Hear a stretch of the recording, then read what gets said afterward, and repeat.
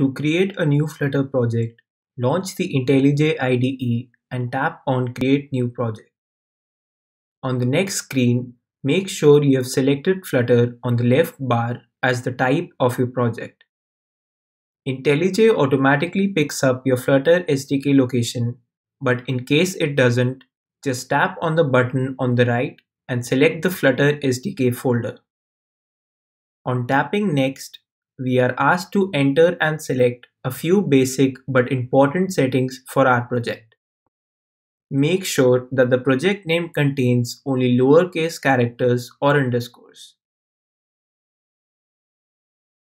You can select a project location of your choice, but do not forget to append the project name at the end of the path so that your project has its own dedicated folder.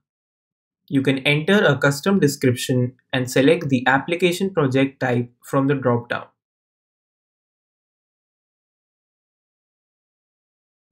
The organization name should be chosen carefully as this would act as the unique identifier of your app on the Play Store if you choose to publish it later on. I would recommend choosing Kotlin and Swift as the Android and iOS languages. These are used to denote the languages in which the code for dedicated Android and iOS modules would be written should you choose to tweak any of that. Selecting any of these languages would not matter for this course. There is also an option to modify some additional settings, but that would rarely be done.